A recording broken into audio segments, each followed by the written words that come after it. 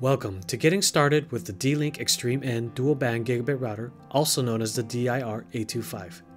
The DIR-825 uses dual band technology to support 2.4 GHz and 5 GHz wireless signals at the same time. So let's get started and see what comes in the box.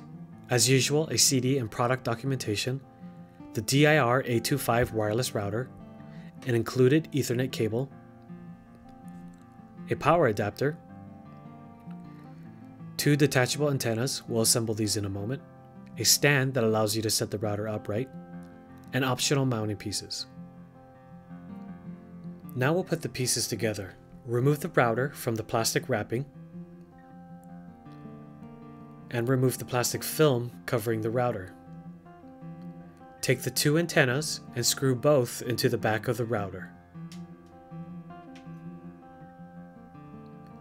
And now you're ready to install the DIR-825. But first, let's get a closer look at the ports on the router. On the front are the power and network activity light LEDs. On the side, WPS for easy configuration of devices, four LAN ports, and one internet port, USB share port, we'll cover this in another video, reset button, and power. And of course the two antennas. Let's power up the DIR-825 and plug in the cables. Somewhere near your modem, first plug an Ethernet cable directly from your modem into the port labeled Internet. Next, plug the power into the wall, and then to the back of the DIR-825. When all the lights on the front of the DIR-825 turn blue, you are good to go. This may take a moment or two, so please be patient. We recommend taking an additional few minutes to set up some simple wireless security. Open a web browser and log into the router by typing the default address as 192.168.0.1 in the address bar. Leave the password blank for the default and if prompted, type in the characters in the box.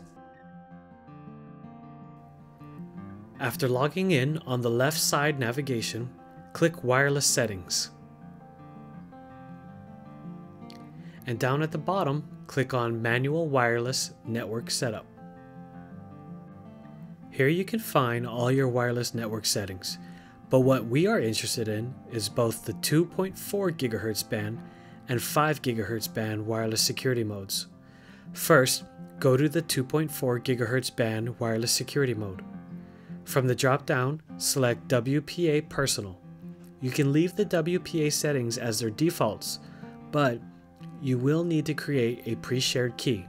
This can be any 8 or longer password using letters and or numbers. It's best to write this password down somewhere for safekeeping because you will need it when connecting any wireless device. Next, we'll change the 5 GHz band wireless security mode. Follow the same steps as we did with the 2.4 GHz by selecting WPA Personal and entering a pre-shared key. Navigate back to the top of the page, click Save Settings, and you're finished.